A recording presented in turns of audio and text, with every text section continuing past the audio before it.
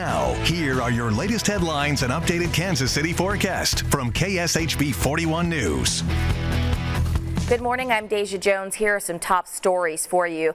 Kansas City police are investigating a homicide near 31st and Elmwood. Police found a man shot inside a home in that area about 4.15 this morning. He died a short time later.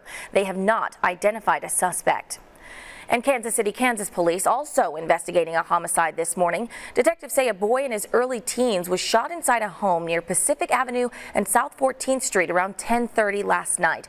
Now, if you know anything, you can call the TIPS hotline about either of these homicides. That number is 816-474-TIPS. Well, in other news, the Kansas City Chiefs will play in their fourth straight AFC Championship game this afternoon. Now, if you're going to the game, parking gates open at 9.30. Stadium gates open at noon. The flyover of four A-10 Thunderbolts from Whiteman Air Force Base begins at 1.59 with kickoff set for 2.02 p.m.